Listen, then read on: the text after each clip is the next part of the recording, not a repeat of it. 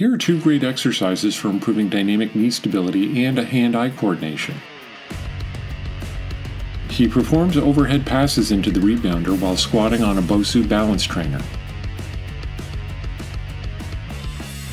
The progression involves strobe eyewear. Strobe eyewear challenges his neuromuscular control and ability to track the ball. He must react quickly with small adjustments to maintain his balance. Wearing the strobe eyewear challenges his balance because there is a deficit in proprioception. To prepare for higher level activities, you have to perform higher level exercises.